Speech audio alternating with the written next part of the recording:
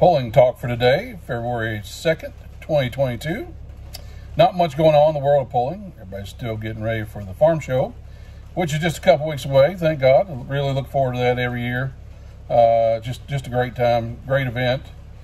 If you can't make it, you're really missing something. Do do everything you can to make it to at least one day of the farm show and the pull. It's it's phenomenal.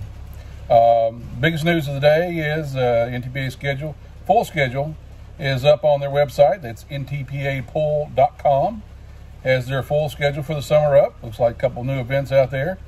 So looking forward to those, and uh, looking forward to seeing everyone at the farm show.